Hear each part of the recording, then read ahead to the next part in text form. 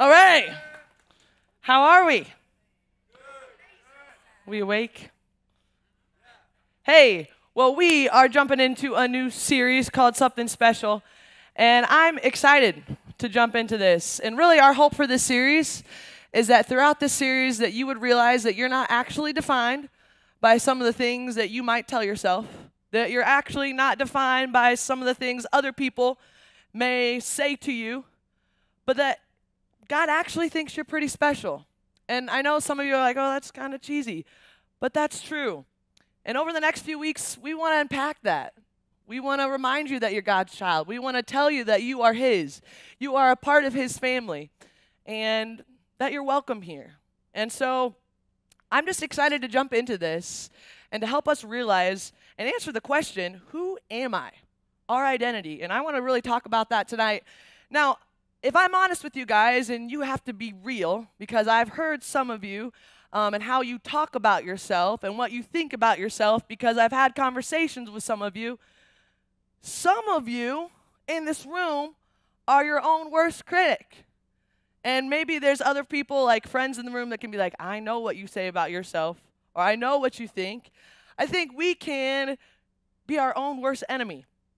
That by the things that we do, uh, for example, our athletics, if we had a bad game, or we have a bad pass, or we have, we miss five tackles, all of a sudden, because of that, we're like the worst, most unathletic person we've ever met. And that's what we tell ourselves. Or if we get a bad grade on a test, or we turn in a homework assignment and we fail, it's like all of a sudden, we're a bad student. Or if we don't respond to a friend, or we forget their birthday, all of a sudden in our minds, we tell ourselves, I'm a horrible friend. And some of you are like, no, that's not true. But you do that. I do that. And I think if we're honest with ourselves, we have a false sense of identity of who we are.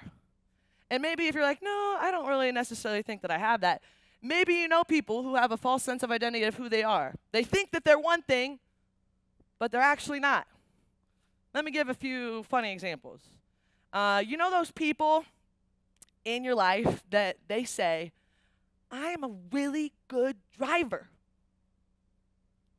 And then you get in a car with them and you're swaying side to side and you didn't even know that you had like motion sickness, like that's never been a thing, but all of a sudden you have motion sickness. And all of a sudden they're slamming on the brakes and you're like, what just happened? And you're like, I don't actually think you're a good driver. You're just saying that. I'm going to be honest with you. I've always said that I'm a pretty good driver. Until a couple weeks ago, when I forgot to put my car in park. And my car slid down this hill and hit another car and destroyed their door. Brad saw it. He had to call me and say, Sav, we have a situation. And I don't know if that means I'm a bad driver or if I'm just an airhead. You can tell me. Okay? But you know those people in your life. Or do you ever have some of those people in your life that they're like really convinced they're a good singer? But then they open their mouth and you're like, oh no. Like it's like nails on a chalkboard and you're like, oh, you're you're a singer. Oh, that's really cool. Yeah. I was watching old American Idol and voice auditions. And the people that go on these shows and like are so convinced they're the next American Idol and then tell the judges, "Yeah, I'm tone deaf and I've never sang." And you're like, "What are you why are you on this show? I don't understand." Or um maybe and I, I always got to pick on Shadrach and he's here tonight. Or maybe you're just so confident that you're one of the best dancers and you get up at raft trip and can only do this move. I don't know. I don't know. Maybe I'm wrong. Evan, you're a good dancer. You're a good dancer. I had a friend that was so, listen, listen, I had a friend um, that really wanted to be a drummer.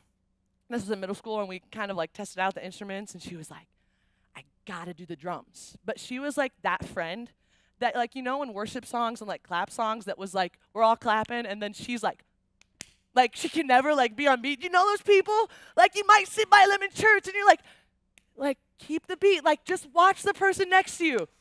And so she decided she decided to do drums for a year, and at the end of the year, like, she not ever was on beat.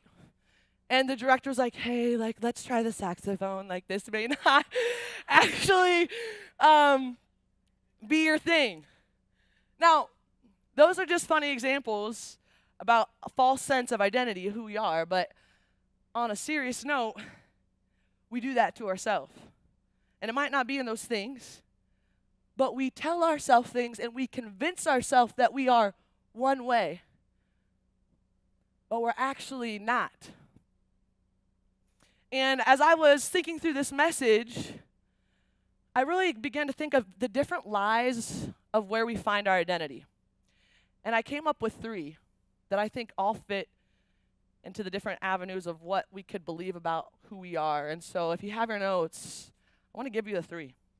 The first one, I think we find our identity in what we do. I am what I do. We tend to believe that we're actually the things that we do. Like, I am a youth pastor, I am a wife, I'm a daughter, for you guys, I am a football player. I am a basketball player. I am a dancer. I am a good friend. I am a listener. I have a servant's heart. I am a joyful person. I am a goofball. I am all these different things that we could come up with. We actually put our identity in the things that we do. And don't tell me that we don't do it because I've had conversations with people in this room that will say, Sav, trust me, if I'm not cracking the jokes or being the comic relief at practice or at school.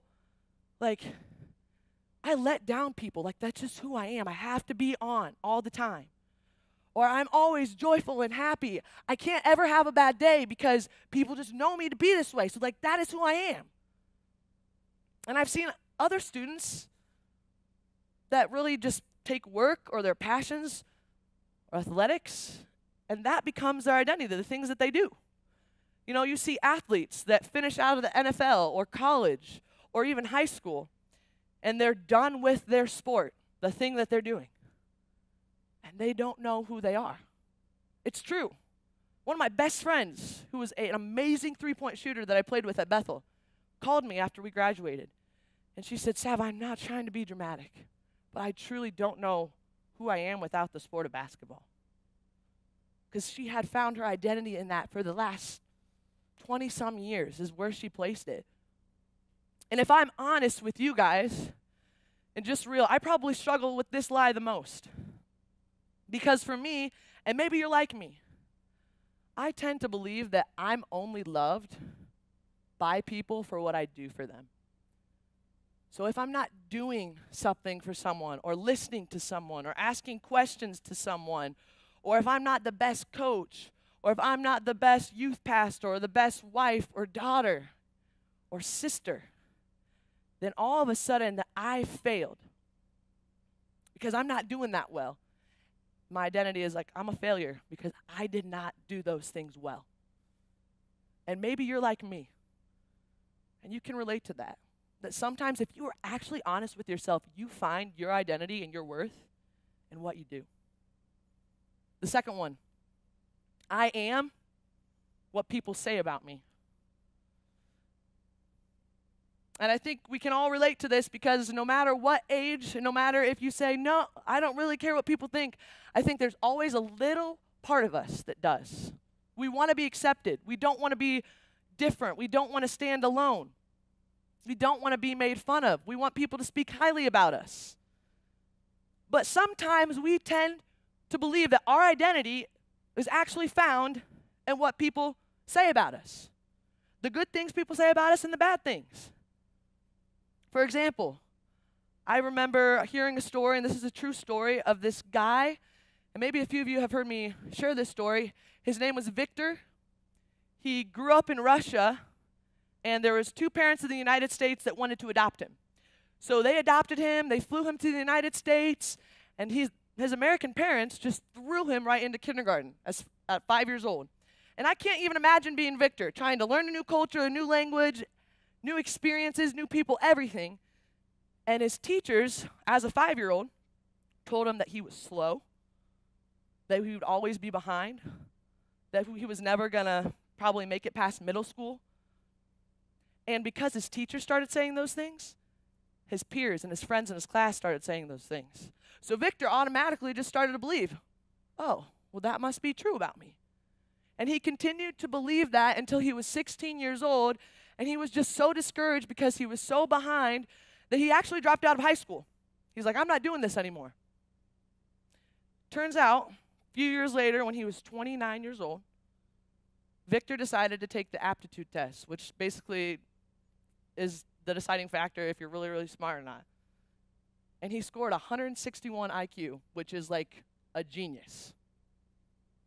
For years, Victor was convinced that he was dumb. He wasn't going to make it, that he was always behind. Victor all of a sudden didn't just become smart when he turned 29, he was smart all along. What happened was he believed what people said that he was.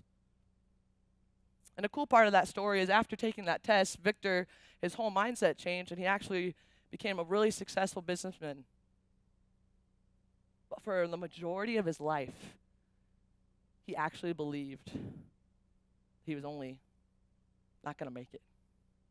And I think if we're honest with ourselves, there have been some things that have been said to you guys that you've actually decided are true, even though that they're not and you you're living in a way right now of those things that people have said that have been hurtful to you and believing that. Just another lie that we fall into. And the last one I am what I have. I am what I have. This one we may not think of right away, but I think it's there. I think our identity comes in what we have our family, right?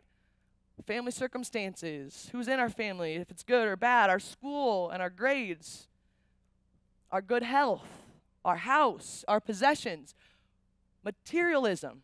We don't think about this a lot, and it's like, oh, I'm not really materialistic.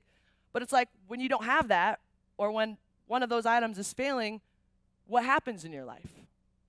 I see this all the time um, when people, their health deteriorates, and they're like, who am I without I have a broken leg. I can't do the things I used to. Or who am I when I'm super sick and I'm in the hospital and I'm not who I used to be. I remember sitting with a girl, this was a couple years ago.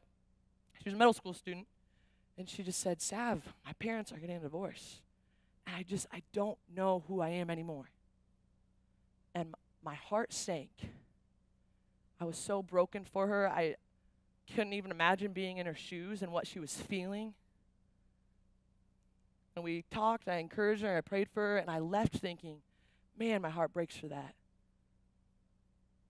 Hard situation. But even our family is not where our identity is founded. The three lies of where we find our identity I am what I do, I am what people say about me, and I am what I have. False sense of identity. And I believe if we're honest, we can fall into one of those categories or at sometimes all of them. So, what do we do about that? I want to take us straight to Scripture and talk to you about our true identity. And so, if you have your Bibles, I want to invite you to turn to Matthew chapter 3. Matthew chapter 3, and it's in your notes, it'll be on the screen. And this might be a little weird, but I actually want to look at Jesus' baptism, okay? Jesus was a Jew, he was perfect, he was sinless. He actually didn't really need to be baptized, but he gets baptized. And I'm like, what? Why? We're going to answer that question as we read this passage and really find out where our identity is. And it's straight here in this passage Matthew chapter 3, 13 through 17. Then Jesus came from Galilee to the Jordan to be baptized by John. But John tried to deter him, saying, I need to be baptized by you, and do you come to me? Jesus replied, Let it be so now. It is proper for us to do this to fulfill all righteousness. Then John consented. As soon as Jesus was baptized, he went up out of the water. At that moment, heaven was opened, and he saw the Spirit of God descending like a dove and alighting on him. And a voice from heaven said, This is my Son, whom I love.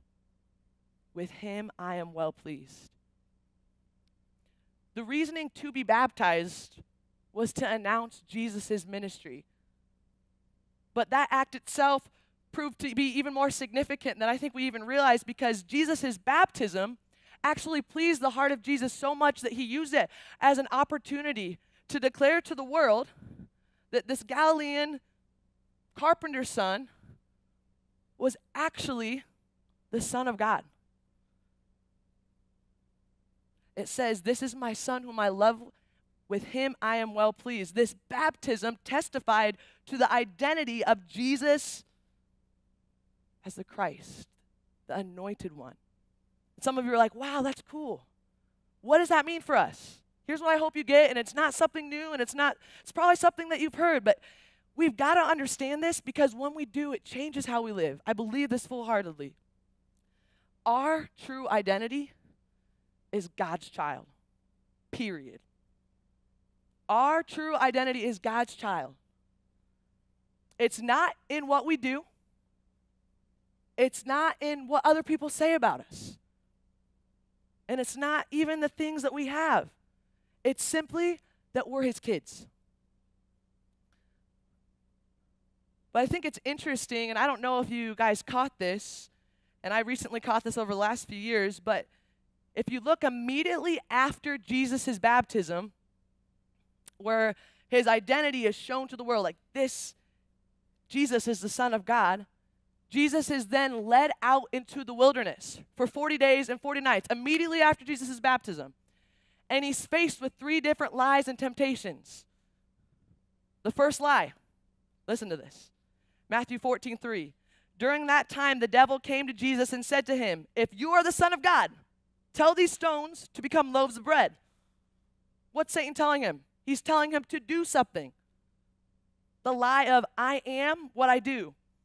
If you're truly the Son of God, prove that you can do this.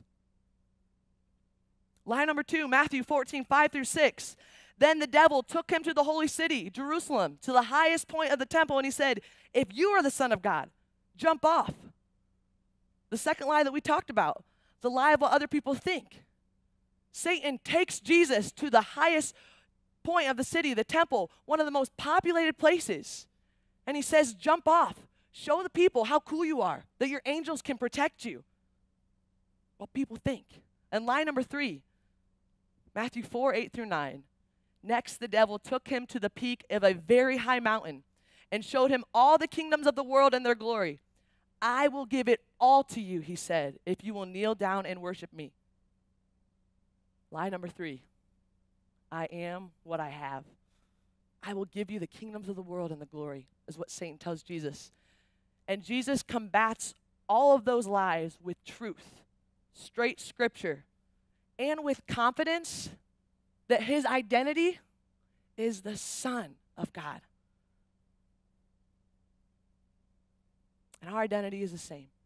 We're God's kids, but I think so often we have a false sense of identity and who we truly are that we lose sight of the simple truth that you are his son.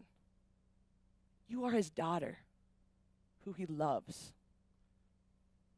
This week, um, I was reading, I don't even know how I really came across it, but um, a book called You Are Special by Max Lucado. And maybe some of you have read this. It's a kid's book. And some of you are like, why are you reading a kid's book? I don't know. Um, but it was so good for me, and I actually got emotional reading it. And I want to summarize the story for you guys a little bit and then read the last page because it was so meaningful to me and I think just fits right along with this. So basically, in this story, uh, there's a woodworker, okay? His name is Eli. And Eli, and this is important, you got to remember the names here. Eli made all of the Wemmicks. They're wood people, okay? These are the Wemmicks. He made all of them. Very different, special, unique, tall, short, and these Wemmicks, every single day, would go out and hand out gold stars and black dots that were stickers. And the gold stars, as you can see in the picture, the gold stars were the good things. If your wood was all nice and smooth, if you took care of yourself, if you were talented, if you were faster than other people, if you could jump higher, if you had the most possessions, if you were well off, you got gold stickers. On the other hand, if you weren't as good, or your wood was chipped and you didn't look as good as other people, they would hand out black dots.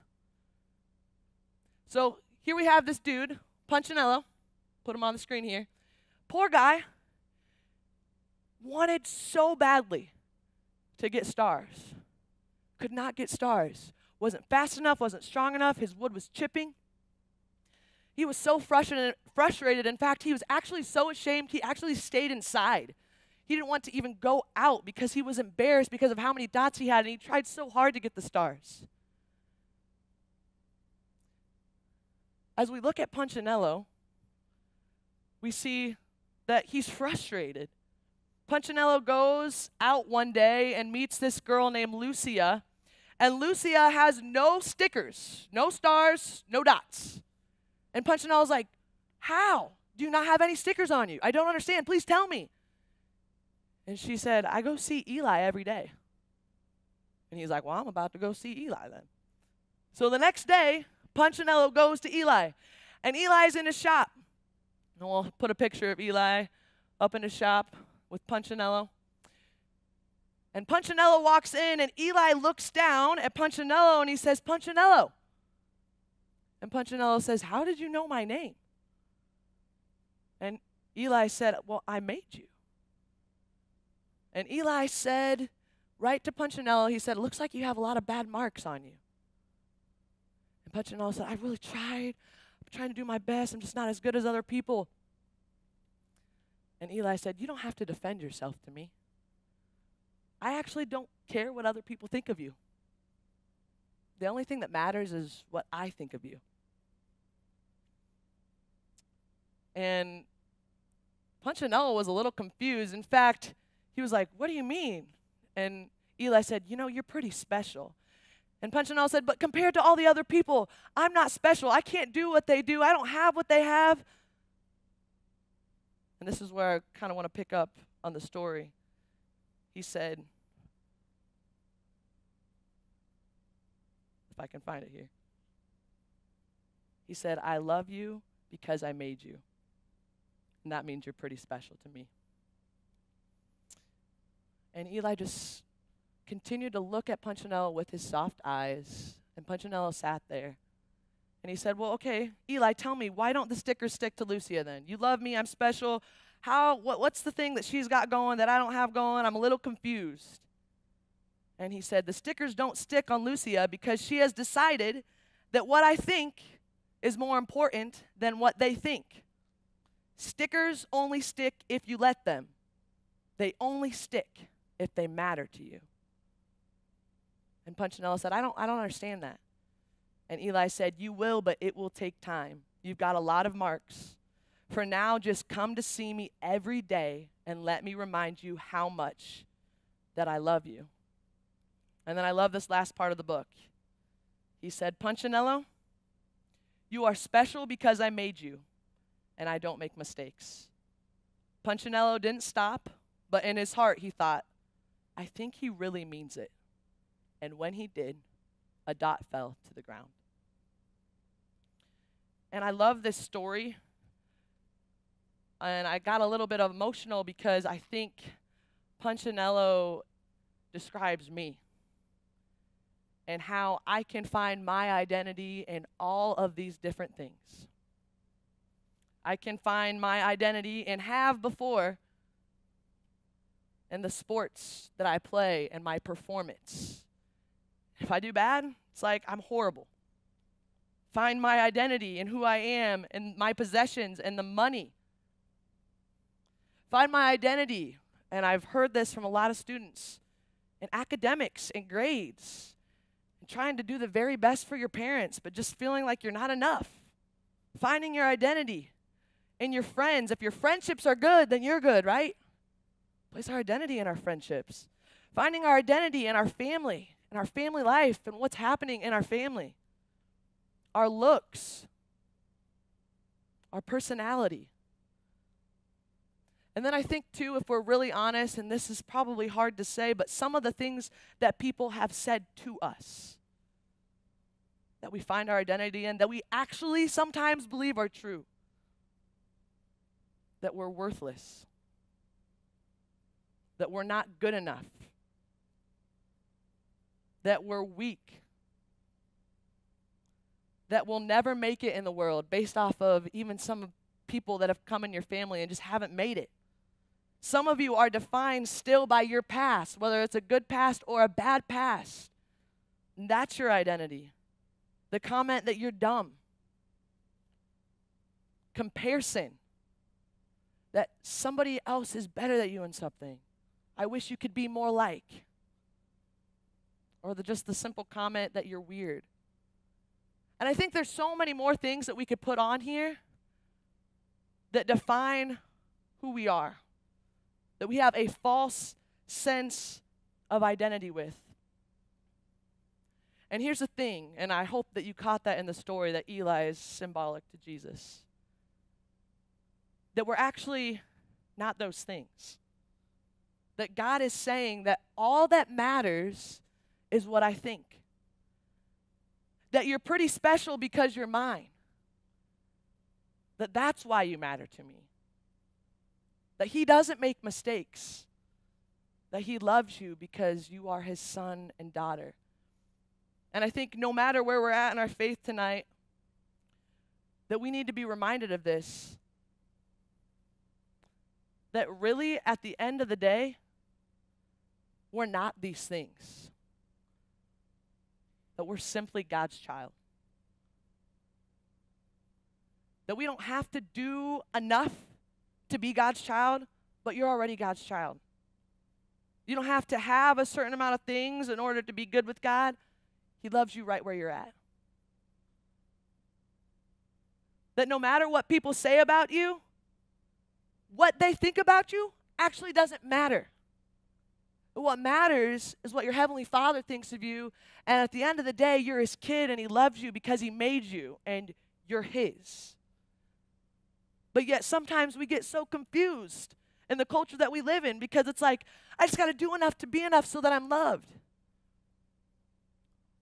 Or we let what people say be what we believe about ourselves and how we live. And what we have affect how we see ourselves. Or at the end of the day, you need to know that God loves you right where you're at. And so as we close, I want to invite the band up. And while they come up, I want to invite you right now to kind of stick your notes away, put your pens down, and just to simply close your eyes. That you would take just a second in the midst of maybe all that's going on in your mind to just pause to focus straight on Jesus. I don't know how you picture Jesus. But I want to invite you to close your eyes right now and picture him with his arms wide open. Here in this room right now. That no matter where you're at in your faith, whether you've been a Christian a really long time or you're still asking questions, that you would know in this moment that He loves you, that you're His kid. It's not cheesy to say. Because I think a lot of times we just live as if we're not His kid and that we got to make it for ourselves, when really we don't. We just get to sit in His lap and be His child, knowing we don't have to do anything, knowing other people's opinions doesn't matter that He loves us just as we are. And so, as we close, I want to read these words of truth over you guys that are found straight from Scripture, straight from the heart of Jesus, of what He says about you. This world will tell you a lot of things that you are. You will probably tell yourself that a lot of different things that you think that you are. But I want you to hear tonight, and I want these words to resonate in your heart who you actually are. My child, I have called you by name. From the very beginning, you are mine and I am yours. You are my beloved. On you, my favor rests. I have molded you in the depths of the earth and knitted you together in your mother's womb. I have carved you in the palm of my hands and have hidden you in the shadows of my embrace.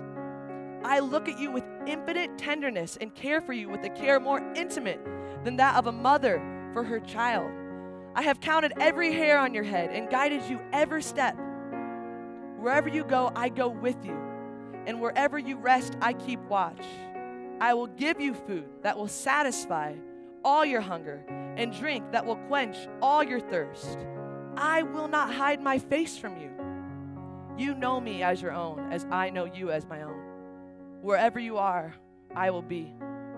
Nothing will ever separate us. And I want to invite you right now to open your eyes. And would you, right where you are, just stand to your feet? And I want to encourage us. We're going to close with one last song. And in this song, it proclaims who we are.